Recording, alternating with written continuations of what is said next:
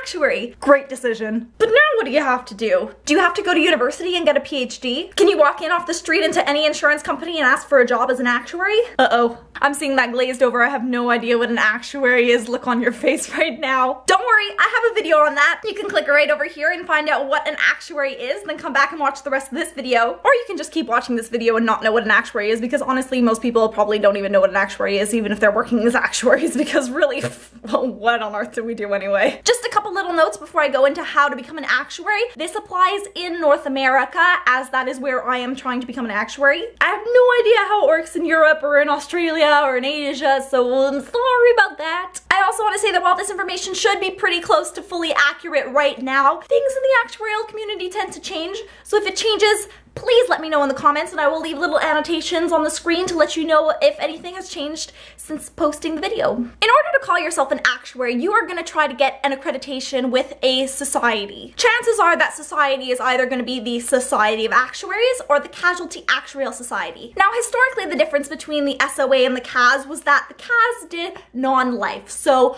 homes, cars, businesses. And the SOA did life, so pensions, health insurance, life insurance, investing, that kind of thing. But as I mentioned before, things do switch around in the actuarial community and the SOA does now have a general insurance track, so they are trying to get into the property and casualty side of actuarial things. In both societies, you have two levels of designations. You've got your associate and then your fellowship. In order to obtain these designations, you're gonna have to write a series of exams, as well as a few other things, which include but are not limited to online modules, something called VEEs, which stand for Validation by Educational Experience, and professionalism courses. Now, if you've ever asked an actuary how many exams you have to write to become a fellow, you've probably got a sort of like, uh, 10-ish exams as an answer. This is because there are multiple paths that you can kind of take once you decide to specialize and depending on what path you take, you might have more exams, you might have more modules, but 10-ish is a good estimate. When you first start off on your exam taking journey, you will be starting with what are called preliminary exams. Now fortunately for all of us trying to become actuaries, you do not have to decide what you want to specialize in right away. Up until recently, the preliminary exams were jointly sponsored by the SOA and the CAS, however,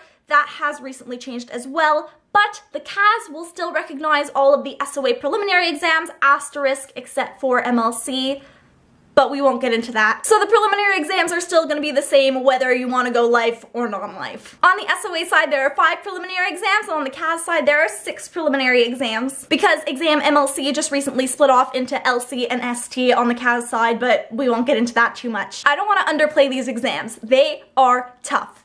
They recommend 100 hours of studying per hour of exam, so a three hour exam would require about 300 hours of studying. I know. Even after those 300 hours of studying, the exams are designed so only about 40 to 50% of people pass them. Not to scare you away or anything, but chances are you're gonna fail at least one or two or three or ten of them. One thing that's kind of cool about becoming an actuary is you don't need a degree in actuarial to become an actuary. It's all about these exams. However, I would say that you definitely do need a degree. Now, I'm not an employer, I've never hired someone, but if I were looking at a resume and I saw that someone didn't have a degree, I think I'd probably be less inclined to hire them. But again, I've never hired anyone, so I could be completely wrong. I am getting my degree in actuarial mathematics, but you can get a degree in math, in business, in physics, whatever really tickles your fancy as long as you're passing these exams on the side. What you do need from university is to get your VEEs. VEE stands for Validation by Educational Experience. If you go on the SOA website, I'll link it in the description, they have a full list of courses on their website that basically says